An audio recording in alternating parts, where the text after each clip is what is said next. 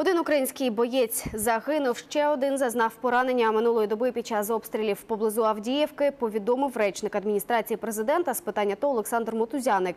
Сьогодні противник 18 разів відкривав вогонь по всій лінії фронту.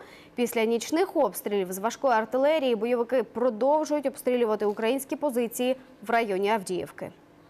Донецький напрямок. Тут найгарячіше в районі Авдіївської промзони. Бойовики зухвало порушили мінські угоди, випустивши 70 артилерійських снарядів калібром 122 мм по наших позиціях.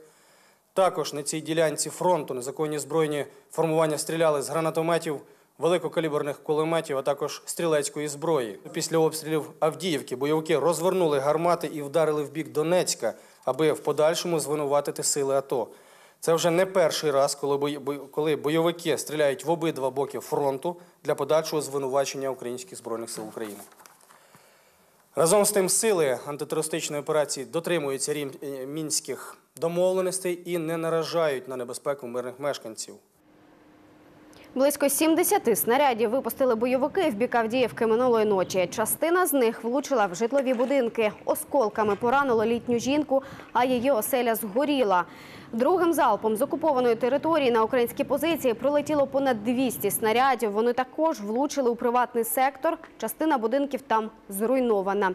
Під час артилерійського обстрілу з Авдіївки була евакуйована група російських спостерігачів спільного центру контролю та координації питань припинення вогню.